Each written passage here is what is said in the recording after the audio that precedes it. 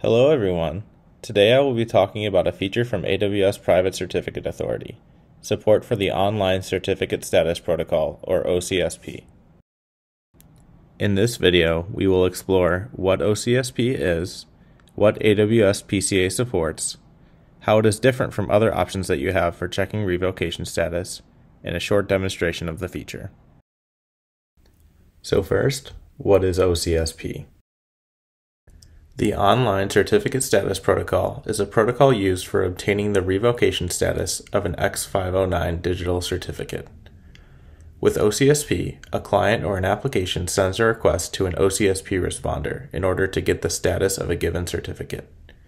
The OCSP responder will then verify the status of that certificate with its certificate authority, and then it will return a response of good, revoked, or unknown to the client. So, what does AWS PCA support? PCA provides a fully managed OCSP solution to notify endpoints that certificates have been revoked without the need for customers to operate the infrastructure themselves. Customers can enable OCSP on new or existing CAs with a single operation using the AWS Private CA console, the API, the CLI, or through AWS CloudFormation.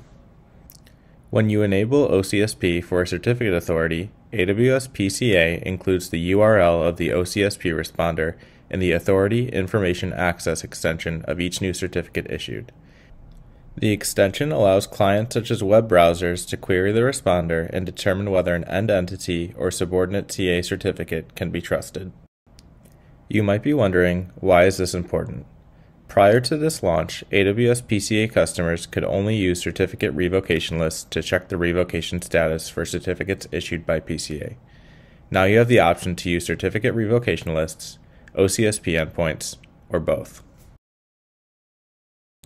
Speaking of certificate revocation lists, let's take a minute to talk about CRLs and how they are different from OCSP endpoints. As stated previously, AWS PCA also supports another method to manage certificate revocation, Certificate Revocation Lists, or CRLs. For those who are not familiar, a certificate revocation list is a list maintained by a certification authority of the certificates which it has issued that are revoked prior to their stated expiration date. In the case of AWS Private CA, when you set up a CRL, this list is maintained in an S3 bucket. A CRL functions slightly differently than an OCSP responder. With OCSPs, an endpoint is queried by a client and then the client receives a response. With CRLs, a certificate revocation list is downloaded by a client. This behavior allows clients to cache CRLs, improving resilience to network issues. However, if CRLs are cached for too long, it can lead to stale lists. Another consideration is that CRLs can become large and become problematic for devices with little memory. Conversely, this allows clients to verify many certificates at one time, whereas an OCSP endpoint will only give you one response per request. If you would like to dive deeper into the differences between these two revocation methods, check out the AWS blog post choosing the right certificate revocation method in ACM Private CA. For our demo today, we are going to walk through the process of creating a subordinate or issuing certificate authority which has OCSP enabled. This demo assumes that you already have a root certificate authority provisioned in your account. If you would like to follow along, we will be using the same infrastructure that is built in the AWS Private CA workshop. We will start by navigating to the Private Certificate Authority console. We already have a root certificate authority provisioned in this account, so I'm going to go ahead and create our issuing CA. First, I'll select Create a Private CA. Next, I will choose the Subordinate option. For the information in the Subject Distinguished Name options, I'm going to enter some placeholder values. You must enter at least one name on this page, but all others are optional.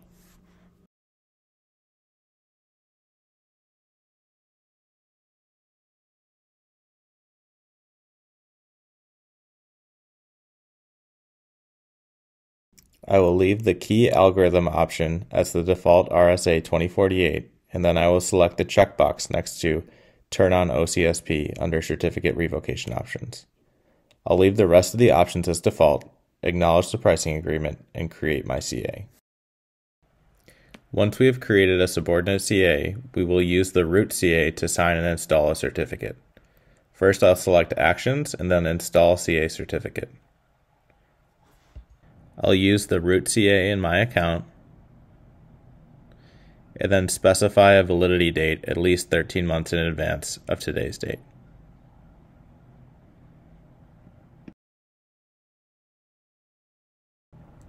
Then I'll select Confirm and Install to continue.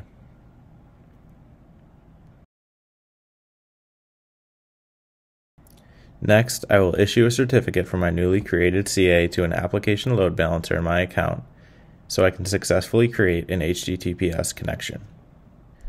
I'll need to get the DNS name of my load balancer to issue this certificate. So first I'll go to the EC2 console and then select load balancers to locate the appropriate DNS name listed.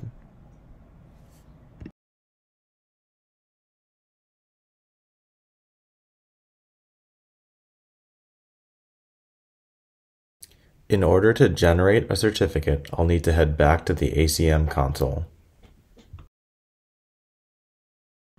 When I get to the ACM console, I'll choose the Request a Certificate option and select Private Certificate. I want to use my issuing CA, so I click the drop-down menu and then select the subordinate CA I just created. Under Fully Qualified Domain Name, I will enter the domain name for my application load balancer.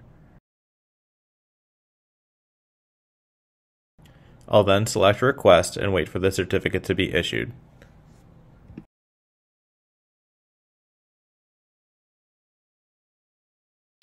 Next, I'll create an HTTPS listener for the load balancer.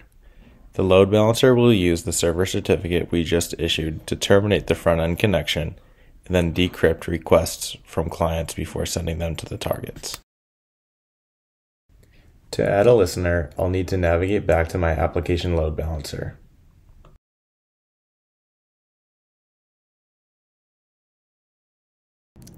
When I get to the application load balancer, I'll select Add Listener. I'll then change the protocol to HTTPS and the default action to forward. Next, I'll select a target group to forward my traffic to.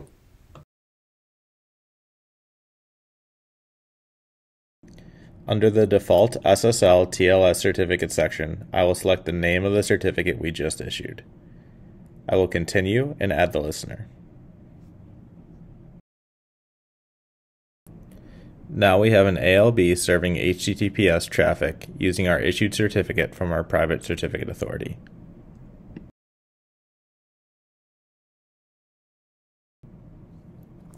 I'll navigate to the DNS name of our load balancer and see that we are now able to establish an HTTPS connection.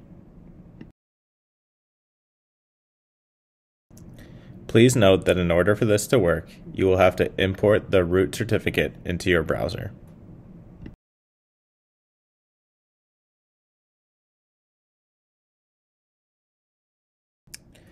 Now we will revoke the certificate to demonstrate the OCSP functionality. To do this, we can run the revoke certificate AWS CLI command. We will need to get the certificate authority ARN, the certificate serial, and provide a reason for the revocation when we run this command. All of this information is available via the ACM console under the description of the issued certificate.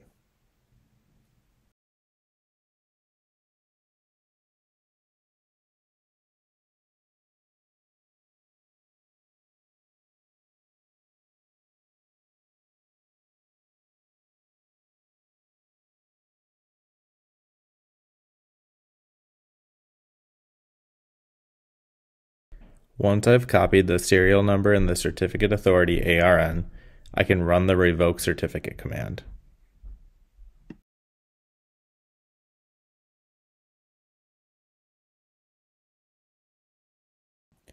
Please know that it may take some time for the revocation to propagate. Once it does, as long as my browser is set up to query the OCSP endpoint, I will be able to see that the certificate has been revoked.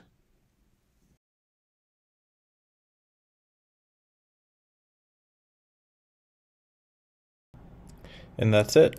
We've set up a fully managed OCSP solution on AWS PCA, all with a few clicks in the console. If you'd like to learn more about AWS PCA, please check out the AWS PCA documentation or the AWS PCA workshop.